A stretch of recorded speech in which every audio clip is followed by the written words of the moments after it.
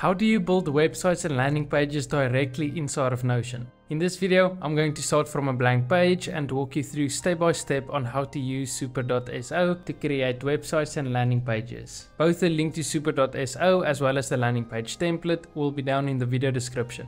And with that out of the way, let's get started. Firstly, you will want to click the link in the description and create the account with super.so. After logging in, you want to of course turn on dark mode and then you also want to go to sites and create a new site. Type in the name of your site as well as paste in the Notion page link.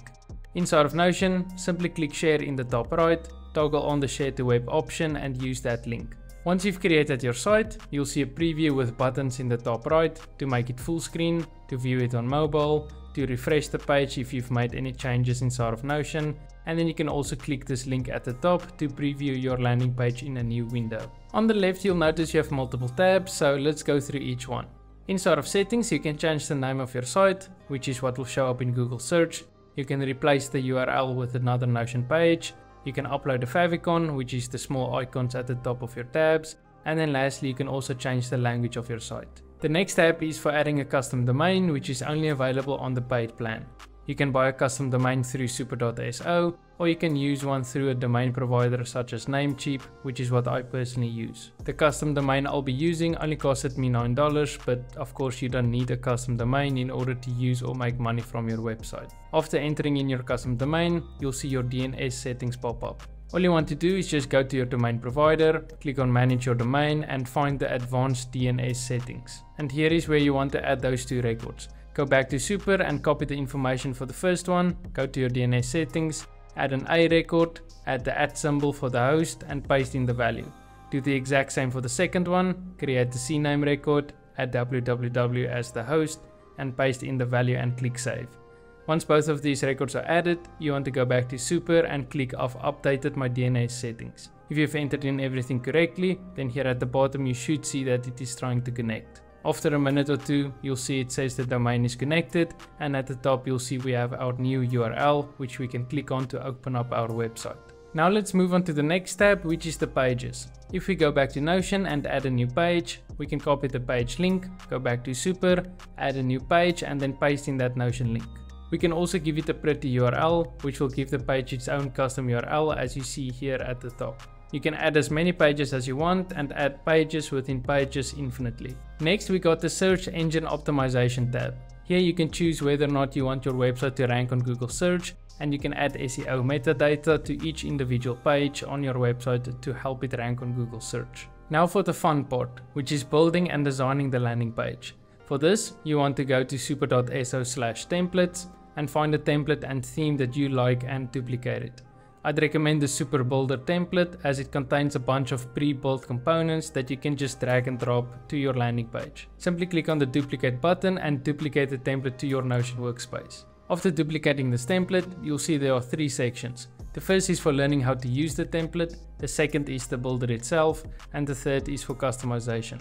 If we go into the build page, you'll see we have an example page which we can play around with, with a template button at the top to load a new page. And then on the left, we have our various different pre-built components which we can use to build out our landing page. I'm not going to be using this example page builder on the right, so I'm just going to delete this. Basically how it works is you just want to go into these components and let's say you want to use this simple two column component, then just hold in Alt or the Option key if you're on Mac and drag your component into your Notion page to duplicate it. Then when it's added, you want to turn it into a text block and then delete the text at the top and click backspace. And that's pretty much how you build out your landing page. Now just repeat this process until you've built out your landing page and you think it looks good and then also add your own text and images.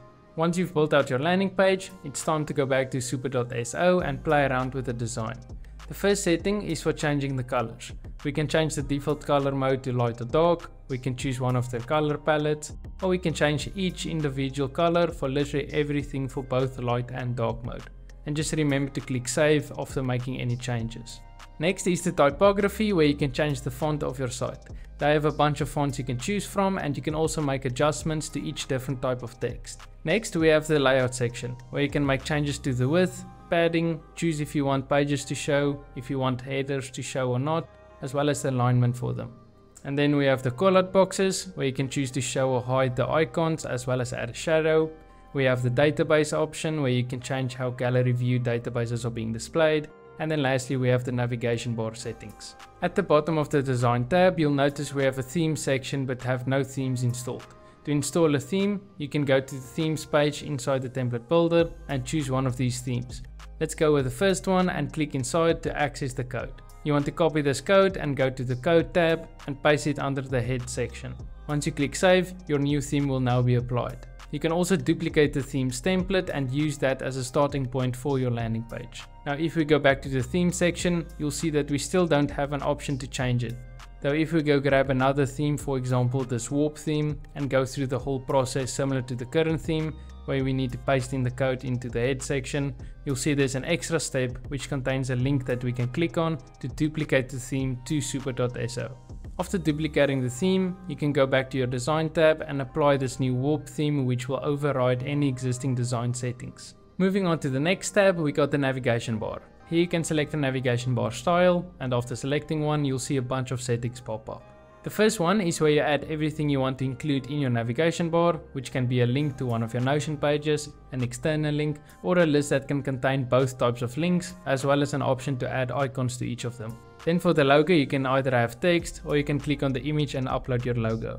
You can style how you want your navigation bar to look for both light and dark mode and you can add a shadow to your navigation bar. And then at the bottom you also have the option to make your navigation bar stick to the top of your page as you scroll down and you can also add a call to action button taking you to a Notion page or an external link. Next up we have the footer which has similar settings to the navigation bar where you can select your style, add pages or links, use a logo if you want and style your footer for both light and dark mode. Then you have a section for all your social media channels where you can go ahead and add a new item, choose the platform to add an icon and paste in the link. And then lastly at the bottom you can add a footnote. Once you're happy with your footer, go ahead and save it and then let's move on to the next tab which is your different options. Here we can choose to show or hide database properties and database views. We can enable search on our site. We can add a toggle to switch between light and dark mode.